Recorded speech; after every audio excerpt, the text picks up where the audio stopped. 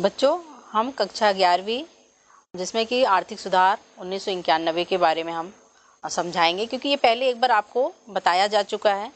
लेकिन, हम जो है प्रश्नोत्तर का लेकर चल रहे हैं, और ये आपको कॉपी, कॉपियों में नोट करना आवश्यक है, जिससे कि आपके नोट्स भी तैयार होते जाएँगे और बाद में आपको किसी तरह की परेशानी नहीं होगी। तो सबसे पहले भारत में आर्थिक सुधार क्यों आरंभ किए गए? आर्थिक सुधार निम्न कारणों से आरंभ किए गए, जैसे कि उन्नीस में भारत एक आर्थिक संकट का सामना कर रहा था। सरकारी राजस्व में अधिक सरकारी व्यय में भारी उधारी को जन्म दिया। उन्नीस सौ में राष्ट्रीय ऋण सकल राष्ट्रीय उत्पादन साठ प्रतिशत था। फिर ब्याज तक देने के लिए उस समय सरकार असमर्थ थी। इस तरह से सार्वजनिक क्षेत्र में संसाधन की प्रबंध जो, अक्षम था। फिर विदेशी मुद्रा का भंडार, जिसे हम आयातों के भुगतान के लिए रखते थे, लेकिन केवल तीन सप्ताह के लिए ही पर्याप्त थे। इस तरह से खाड़ी युद्ध के कारण कीमतों में बढ़ने से दर दोहरी होने से अंक में पहुँच गई और संकट को और भी बढ़ा दिया। इस तरह से घटिया प्रबंधन के कारण भी बहुत से सार्वजनिक क्षेत्र में उपक्रम घाटे हुए चल रहे थे और इस संकट के जवाब में सरकार ने एक आर्थिक नई नीति की घोषणा कर दिया था। इसलिए इसका आरंभ करना आवश्यक हो गया था। फिर है, विश्व व्यापार संगठन का सदस्य होना क्यों आवश्यक है? ये आईएमएफ और विश्व बैंक से ऋण प्राप्ति के लिए या अन्य देशों के साथ मुफ़्त व्यापार करने के लिए विश्व व्यापार संगठन का सदस्य होना आवश्यक है। मतलब क्यों आवश्यक है? मुफ़्त व्यापार करने के लिए विश्व व्यापार संगठन का सदस्य होना आवश्यक है। और जो इसके सदस्य बने हैं, उन्हें वैश्वीकृत होने और विश्व व्यापार का लाभ नहीं उठा सकता था। उसी तरह से भारतीय रिज़र्व बैंक वित्तीय क्षेत्र में नियंत्रक की भूमिका स्वयं में सुविधा प्रदान प्रदाता की भूमिका अदा करने में क्यों परिवर्तित किया गया? वह इसलिए किया गया कि भारतीय रिज़र्व बैंक नियंत्रण की भूमिका में स्वयं सुविधा प्रदाता की भूमिका अदा करने का बड़ा परिवर्तन किया। पहले यह एक नियंत्रक के रूप में आरबीआई खुद ब्याज तय करता था, लेकिन प्रबंध के निर्णयों के प्रत्यक्ष रूप से नियंत्रित करता है और उसके उपरांत सुविधा प्रदाता की भूमिका निभाई, जिसकी की ब्याज दर व्यापार बलों और निर्धारित करने के लिए स्वतंत्र कर दिया गया, जिससे कि वाणिज्यिक बैंक प्रबंध नियंत्रक स्थापना की गई, जिससे कि उदारीकरण के कारण बाज़ार में प्रतिस्पर्धा भी बढ़ गई और साथ ही साथ प्रबंध जो बैंक के प्रबंधक हैं, उनको निर्णय लेने की स्वतंत्रता देना भी आवश्यक हो गया था। क्योंकि वह स्वतंत्र होगा, तभी वह ब्याज कम या ज़्यादा किस तरह से लेना है, परिस्थिति अनुसार वह तय कर सकता है। फिर रिज़र्व बैंक व्यावसायिक बैंकों पर किस प्रकार नियंत्रण रखता है? मतलब वह नियंत्रण किस तरह मतलब दूसरे जो बैंक हैं, उन पर वह नियंत्रण किस तरह से रखता है? जैसे रोकड़ की राशि करना, उसका अनुपात निर्धारित कर देना ये रिज़र्व बैंक के पास रखनी पड़ती है। नगद असुरक्षित अनुपात कहा जाता है।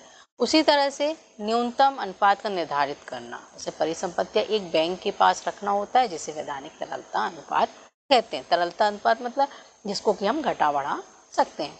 फिर रिज़र्व बैंक की ब्याज की दर निर्धारित करता है। विनिमय बिलों को छूट देता है मतलब वह पूर्ण रूप से निर्णय लेता है। फिर रुपयों के अवमूल्यन से आप क्या समझते हैं? जैसे नियंत्रण प्राधिकारी के निर्णय के लिए विनिमय दर में गिरावट आती है, उसी तरह से मुद्रा के मूल्य में भी अन्य मुद्रा की तुलना में कम हो जाती है, उसे अवमूल्यन कहते हैं। मतलब जिस तरह से कि एक दूसरे मूल्य जो, मुद्रा जो है, उसकी तुलना में हमारे मुद्रा का मूल्य कम हो जाना ही अवमूल्यन कहलाता है। आयात महँगे हैं, निर्यात सस्ते हो जाते हैं, निर्यात बढ़ जाते हैं, आयात कम हो जाते हैं। इस तरह से व्यापार का संतुलन भी ठीक हो जाता है। फिर प्रशुल्क क्यों लगाए जाते हैं? प्रशुल्क जो घरेलू, प्रशुल्क जो है, वह एक कर है, जिसको टम टैक्स भी बोलते हैं। वस्तुओं की तुलना, आयातित वस्तुओं को महँगा बनाने के लिए लगाए जाते हैं ताकि वस्तुओं की मांग बढ़ जाती है और विदेशी वस्तुओं की मांग जो है कम हो जाती है। क्योंकि जब विदेशों से हम वस्तु को आयात करेंगे, उस पर हम जब शुल्क लगाएँगे, प्रशुल्क, स्वाभाविक है, उनकी वस्तु महँगी हो जाएगी, जिससे कि हमारी देसी वस्तुएँ या घरेलू उत्पादन की दृष्टि से वो वस्तुएँ हमारी सस्ती रहेंगी और वो महँगी बिकेंगी। फिर सेवा क्षेत्र के विकास के लिए उत्तरदायी प्रमुख कारक कौन कौन से हैं? जो सेवा क्षेत्र के हैं मतलब उसको हम किस तरह से आ, मान सकते हैं जैसे कि उद्योग का आधार नहीं है मतलब एक मज़बूत औद्योगिक आधार नहीं है हमारे पास द्वितीय क्षेत्र का विकास नहीं किया है फिर विदेशी निवेशक में कृषि को भारतीय कृषि जोखिम शामिल करने के कारण भी उसको कृषि क्षेत्र में निवेश के लिए रुचि नहीं थी। उन्हें भारत की अनुबंधित सेवाओं के लिए भी सर्वाधिक उपयुक्त लगता है। फिर सुधार प्रक्रिया में कृषि क्षेत्र दुष्प्रभावित हुआ लगता है क्यों? सुधार अवधि के दौरान कृषि में सार्वजनिक निवेश विशेष रूप से सिंचाई बिजली सड़क बाज़ार लीकेज अनुसंधान और विस्तार के क्षेत्र में कमी आई है और उर्वरक सहाय के हटाने के उत्पादन की लागत बढ़ गई है जिससे कि छोटे और सीमांत किसानों को, को दूर प्रभावित मतलब वो चीज़ें जो है उसका लाभ जो है बड़े किसानों को मिलता है छोटे किसानों को नहीं। फिर इस क्षेत्र में जल्दी नीति परिवर्तन हुए हैं। इसके कारण भी किसानों को दुष्प्रभावित हुआ है और अधिक प्रतिस्पर्धा का सामना करना पड़ता है। फिर कृषि जो है वह जो कृषि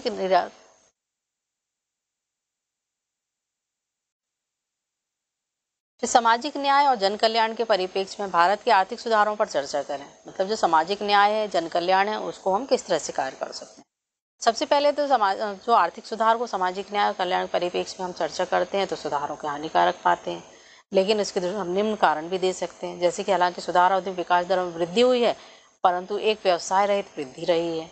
जैसे बहुराष्ट्रीय कंपनियाँ इस बात को अनदेखा करते हैं, और भारत श्रम प्रधान देश है, और पूंजी प्रधान तकनीकों का प्रयोग करती है। इस तरह से यह जो हमारे श्रमिक हैं, वह बेरोजगार रह जाते हैं, क्योंकि जो श्रम प्रधान देश है तो वहाँ पर तकनीकों का प्रयोग करते हैं, मशीनों का प्रयोग करते हैं, इससे लोग अधिक से अधिक बेरोजगार होने लगते हैं। फिर सुधारों में निवेश की कमी के कारण कृषि को दुष्प्रभावित किया है। क्षेत्र में वृद्धि दरों में सुधार की अवधि में भी कमी आई है। मतलब कृषि क्षेत्र की तरफ़ किसी तरह से ध्यान नहीं दिया गया फिर सुधारों को दुर्लभ संसाधनों गलत आवंटन। जो हमारे संसाधन हैं, उनका भी गलत गलत आवंटन हुआ मतलब कलम वितरण हुआ है। जैसे कि यह जो है, पाँचवा हिस्सा न्यूनतम जरूरतों को पूरा करने के लिए सक्षम नहीं है। वहीं पर माल जो है, कुत्ते के भोजन, चॉकलेट, आइसक्रीम पर निवेश कर रहा है। भारत जो छोटे उत्पादक, विशाल अंतर्राष्ट्रीय कंपनियों के साथ प्रतिस्पर्धा बनाए रखने में असफल है, वहीं पर भारी नुकसान उठाना पड़ता है। जिन सार्वजनिक क्षेत्र उपक्रमों का निजीकरण ले गया है, वहीं कर्मचारियों के लिए रोज़गार की स्थितियाँ भी बदतर हो गई हैं।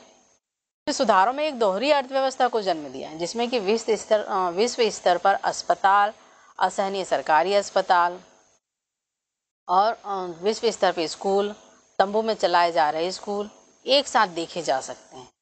और बहुराष्ट्रीय कंपनियाँ ने महत्वपूर्ण क्षेत्र जैसे शिक्षा, स्वास्थ्य आदि को कोई निवेश नहीं किया है। यदि किया भी तो ऐसा जो भारत में अमीर वर्ग के लिए है।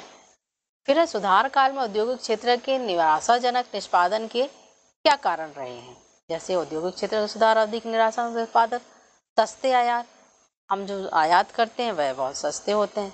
जैसे कि भारतीय बाज़ार पर उन्होंने कब्जा कर लिया है और घरेलू उत्पादों की प्रतिस्पर्धा का सामना करना पड़ता है। सस्ते आयात के कारण जो विदेशी वस्तुएँ वह सस्ती बिकती हैं, जैसे कि घरेलू उत्पादक को उनको प्रतिस्पर्धा करना पड़ता है। फिर बुनियादी ढांचे की कमी। बुनियादी ढांचे में भी कमी होती है, जिसमें बिजली आपूर्ति अपर्याप्त बनी रहती है। विकासशील देशों के रोज़गार की प्रतिकूल हालत। इसमें भी वैश्वीकरण जो है, इस जो घरेलू अर्थव्यवस्था प्रभावित होता है और रोज़गार के अवसर में वृद्धि होती है और रोज़गार के हालात भी प्रतिकूल बनते हैं। फिर अनुचित वैश्वीकरण। अब वैश्वीकरण इसलिए अनुचित हो जाता है क्योंकि उच्च आप प्रशुल्क अवरोधों के कारण विकसित देशों के बाज़ार तक पहुँच नहीं है। धन्यवाद।